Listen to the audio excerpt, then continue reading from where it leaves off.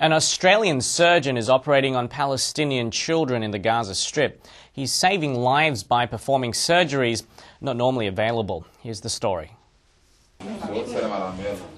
Dr. Paddy Dewan was sent to the Gaza Strip by the Kind Cuts for Kids Foundation. It's not the first time he's visited. The foundation has been sending two missions a year to Gaza for the past two years. This 10 day mission was to help patients requiring specialist treatment and local doctors and nurses needing training. I personally have seen 165 patients now, and we've operated on uh, roughly half of those patients.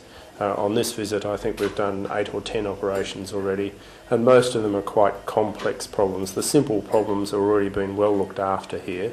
It's the more complicated problems we've come to teach and to provide the service for.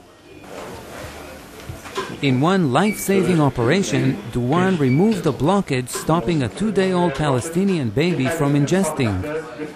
He's also treated patients with gunshot wounds during his visits very, very rewarding, um, very productive, um, hard work, but thoroughly enjoyable. Um, overwhelming, I think, is a good word for it.